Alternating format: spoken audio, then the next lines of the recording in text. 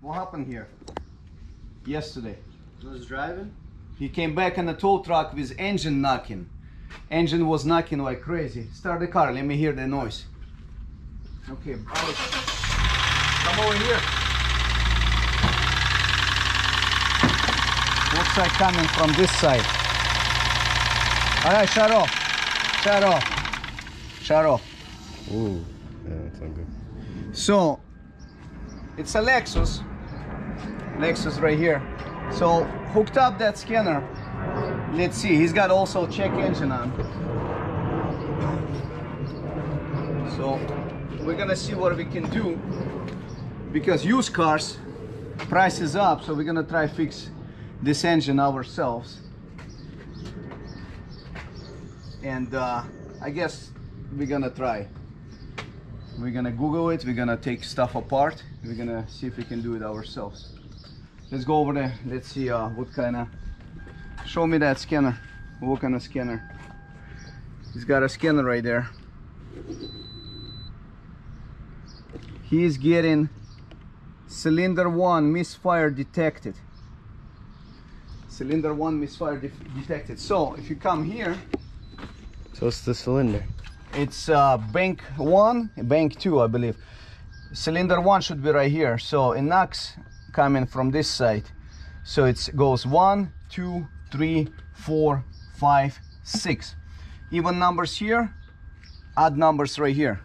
Another thing you can do when he starts the car, you can get this thing and you can just feel it and it's gonna kind of tells you in the sound start it up again which side is coming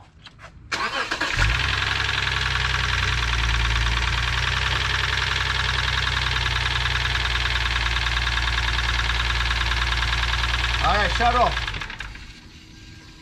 so this tool tells me looks like it's not number one looks like it's like number two unless it's something between. But the sound like coming from from this side. More more louder. So what we're gonna do we're gonna probably leave uh, intake in place because that's lean on uh, bank 2 side.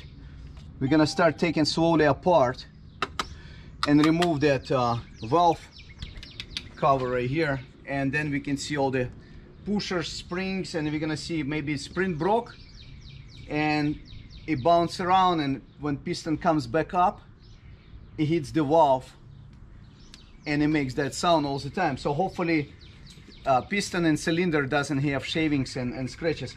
Another thing you can do check the oil. And, and if you look at the oil oil has no no shavings. So he's taking your car right now. He better easy on the gas. See? See? He, he taking your car. So now he's gonna come back with engine knocking on his car on, on your car.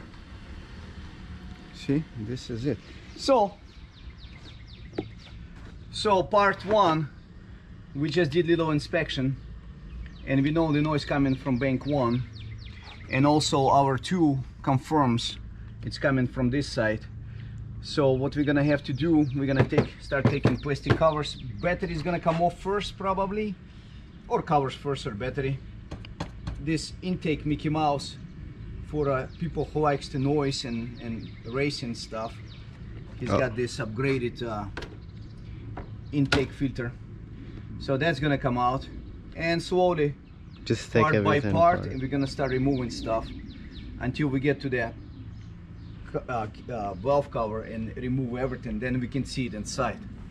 So stand by for uh, video number two right after that. Another thing you can do you can do compression check. You can pull that uh, spark plugs out and you can crank it. And also it's gonna confirm if the valve is broken or spring is broken and valve staying open causing this noise you're gonna know the cylinder lost compression. So by the compression test you can also determine which cylinder is shut. So hopefully we can we can fix ourselves. Otherwise from three to four maybe five thousand dollars to replace the engine or go buy a new car with low miles, price is up like 20 grand, it's not worth it. Because So, this was a used car when we bought it. Everything right now nowadays. So go from there. All right, you can stop filming. So he was driving on Lakeshore Drive, which is a small highway. How fast you were going? Like 50 miles an hour. 50 miles an hour, and then what happened? Check engine light started flashing. And then I gave it the gas to the floor and no power at all. So lost the power, check engine flushing. That means that cylinder already quit. So lost compression completely. So he was driving on five cylinders. And I threw it into limp mode. And then after all, he came back in a tow truck. Okay, you can take off. I'm gonna start taking stuff apart. Okay. First, Alex, we're gonna do, we're gonna use this little tool. We're gonna pop all the rivets. So that, that should be straightforward. Basically, any car, you got all this plastic stuff and, you know. So today is a nice day, warm. So plastic doesn't like to be in the cold weather because it gets brittle. So you're gonna remove one by one. Looks like one of them is using a screw. Then then after that Oh, we're gonna remove uh yeah they got two screws. We're gonna also remove our battery there. Get out of the way. And then after we remove the battery, we get more room. We're gonna start taking a intake. And the good thing, you can always have you can do this, collecting all your parts. So that way make it real, real nice. So we're gonna play car mechanic today, Get a and, Phillips. and probably for another couple of weeks. Gonna be a mechanical adventure here. Okay, see, he's got this guy. over He's here. He's got another guy right here. And actually, you can leave this one in place. Why? Less stuff you take, it's it's better because you don't really need taking extra stuff. So next thing we're gonna do, we're gonna remove battery, which is looks like uh, eight or or 10, 10 millimeters. Stay stay right here. Let me get the wrench. Just stay for a second here. I'm gonna take. Uh, eight or nine or ten and then I'm gonna remove this battery that's actually 10 millimeter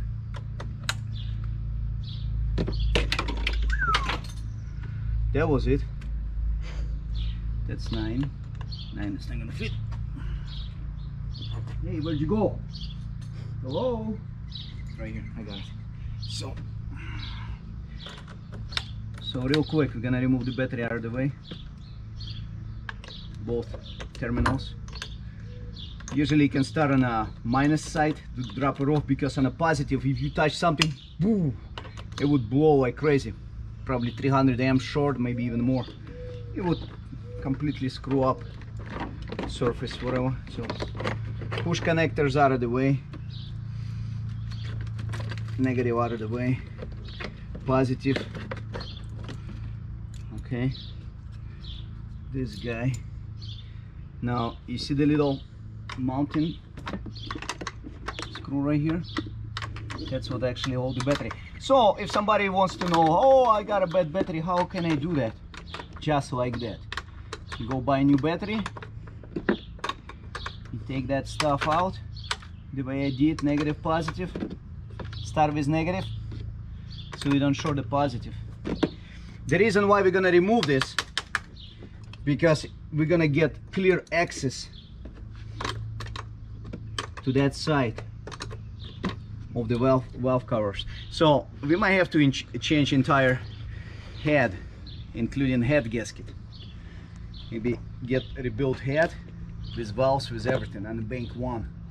Because if it's got heavy damage there there's no no reason to uh, even try to fix it we're just gonna get new head head gasket torque everything to the specs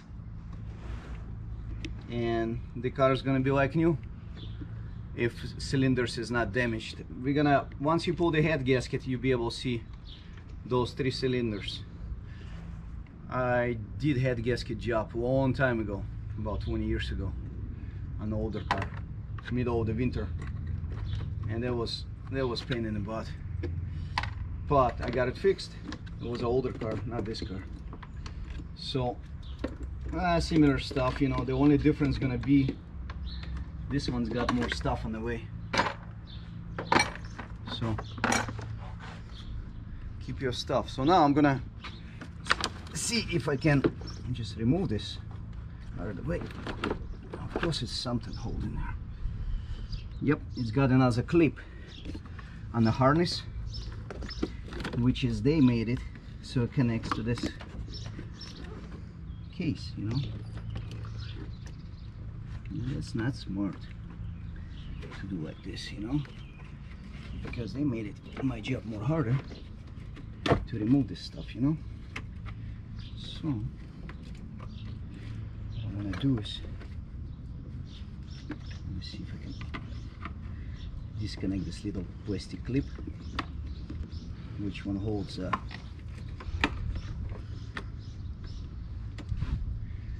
which one holds this thing. But I guess not. That's why I don't like to work on the cars because everything becomes pain in the ass. Yep, it's got a clip on it. So, gotta figure out how to disconnect this thing.